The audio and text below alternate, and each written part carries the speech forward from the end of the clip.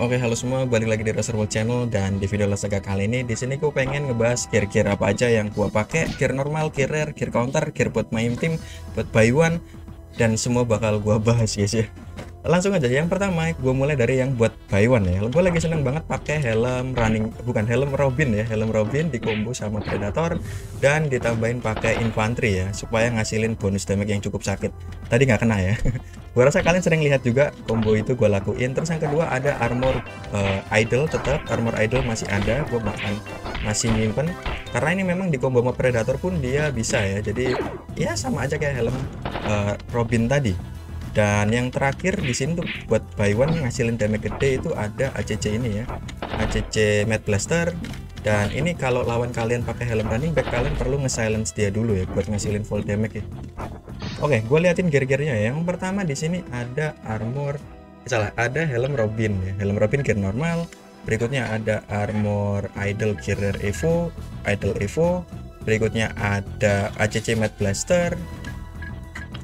Ya Gear terus gue juga baru masukin sih kemarin tuh armor Iceman ya armor Iceman ternyata juga bisa dijadiin cara buat start uh, Predator ya walaupun di sini dia bisa dibilang gear uh, buat main tim ya Oke, okay, gear buat buy one lain yang wajib banget atau sering banget dipakai orang. Pertama armor Succubus buat ngisi gear, ACC Researcher buat ngeriset ya.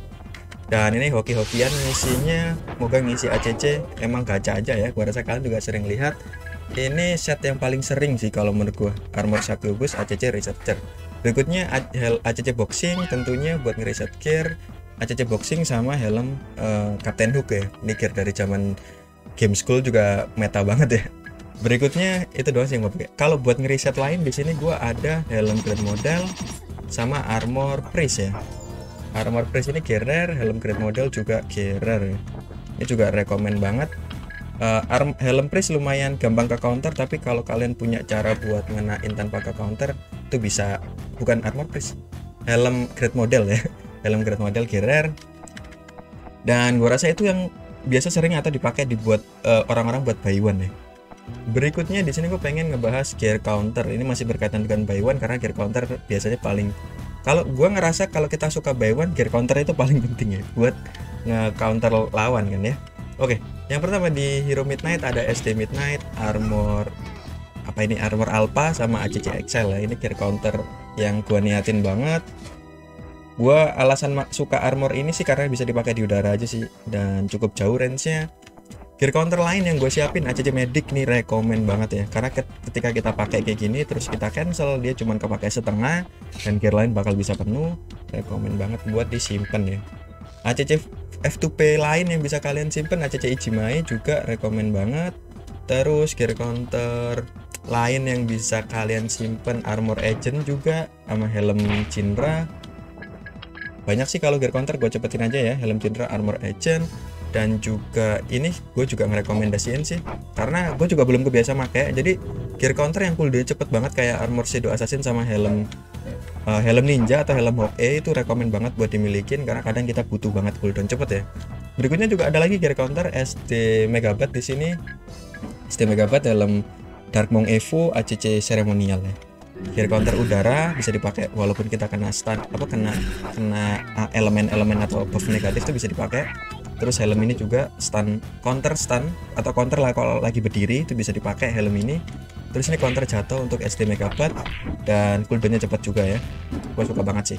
Berikutnya juga ada lagi guys. Masih belum ngabisin helm Lily. Helm Lily ini juga rekomend banget. Gue udah niatin. ACC Agent juga kalau ngikutin patch Korea ACC Agent nanti di buff cooldown jadi lebih cepat ini juga rekomend banget buat disimpan kalau punya.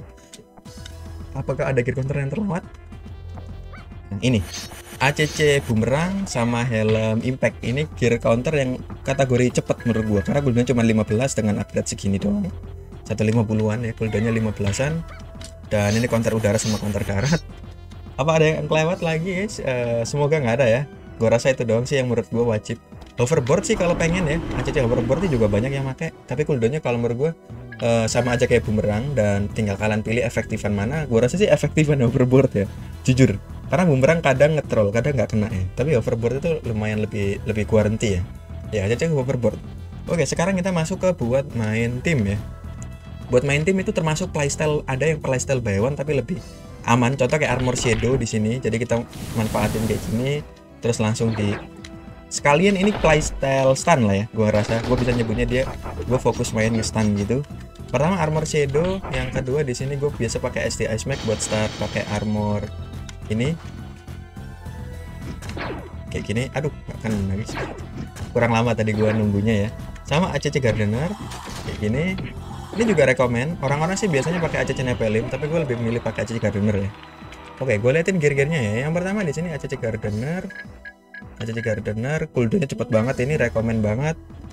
Armor Santa. Armor Santa cooldown juga cepet banget. Berikutnya tadi Armor Shadow cooldownnya juga cepet banget yang uh, ini ngomongin gear jarak jauh juga tapi masih playstyle yang sama. Helm Iceman juga cooldownnya cepet banget bisa dipakai dari jauh. Kalau kalian punya masketir ada combo full damage juga yang bisa kalian pakai. Wait what? Kok nggak kena guys? Hah? Gua nggak tahu ya kenapa ya? Bentar guys. Gue penasaran kenapa dulu perasaan bisa deh. Ah iya bisa full damage itu terus juga armor Iceman tadi yang gue bilang ini juga bisa dipakai cari jauh ya. Uh, di sama ini mungkin Shuriken Blaster. Kira-kira jarak jauh Shuriken Blaster gue lagi suka banget pakai ini. Helm Iceman tadi. Dan juga armor Iceman tadi ya.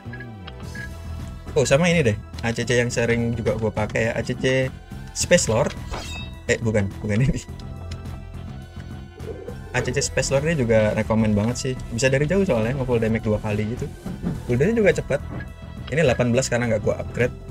Berikutnya oh iya gue kelewat deng ACC ini guys. ACC uh, Dragon Blade ya? Bukan bukan. Uh, Hollowing Blade. Ini juga rekomend banget. Bisa ngebatalin skill musuh gear counter jatuh cooldownnya cepet banget ini.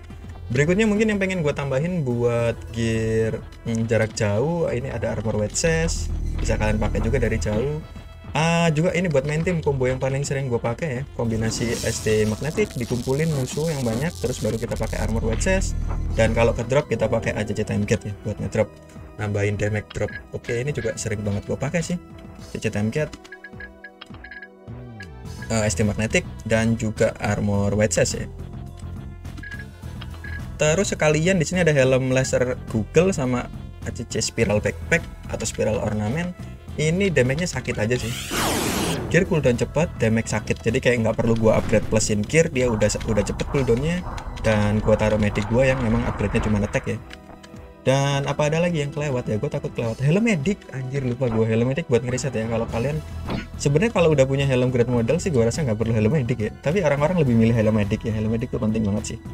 Buat ngeriset gear ya. Terus yang wajib banget dimilikin sih armor ini. Tadi gue lupa ya. Armor counter armor tier ya.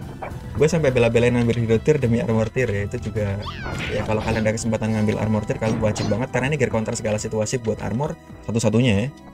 Berikutnya yang pengen gue tambahin di sini gear DT, gear DT di sini gue pakai SD magnetic sih biasanya. Atau enggak helm ini buat nge-counter kalau ada projectile dia bakal kena stun. Terus ACC ini gear unik juga. Uh, ACC chance on ya dan ya kebanyakan sih gue gear unik sih untuk ya nggak kebanyakan cuma satu doang gear unik ya um, ya itu doang harusnya gear yang gue pakai untuk saat ini ya. Kalau ada yang kelewat kalian bisa bantu aja uh, tambahin di komen. Oh ini ya. Helm ini dah gue oh ya yeah. karena ini set yang cukup uh, biasanya ada kombonya gitu. Jadi kayak habis diracun pakai helm botani nanti langsung dikasih ACC poison jug ya. Atau racun shadow assassin guys. Jadi kayak biar double racun gitu ngeslow. Ini juga cocok sih buat teamwork oh sama ini gue kemarin juga baru nyiapin ya. Kadang gue pengen juga main tim bantu-bantu ngestan pakai armor Iceman ya. Eh armor Skadi Evo ini juga orang pakai ya. Armor Skadi Evo terus yang tadi helm botanis helm botanis sama tadi poison ACC shadow assassin ya. Dan ya harusnya itu doang. Gak moga nggak ada yang kelewat. Terima kasih sudah nonton. Bagi kalian suka dengan video ini, jangan lupa tekan like dan subscribe. Sampai jumpa di video berikutnya, guys.